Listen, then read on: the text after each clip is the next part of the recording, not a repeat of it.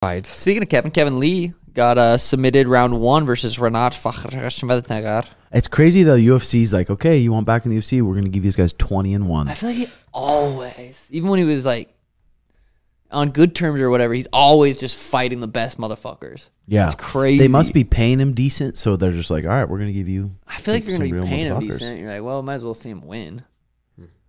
He's Hmm. Yeah, probably- I I, mean- wonder if he's even getting paid that decent. It's hard to say. Is Kevin Lee? wonder Does he too. prefer? Do you think to fight the top, like the toughest guys too, or do you think it's UFC that's like trying to? In this business, I mean, I guess who you ask, but you want to fight the guys you think you're gonna have the best chance of winning against. Right. It's weird with the UFC too. Is like the UFC with some people, they'll send you, here's your option. You, you get this one guy. You say no to it, you're not getting paid this round. Or here's a couple options, Yeah. depending on, I guess, who it is. That ish- but he fucking comes out there. I was ho- I was rooting for Kevin it? Lee. Yeah, I wanted him to win, but that that dude he's fighting looks scary.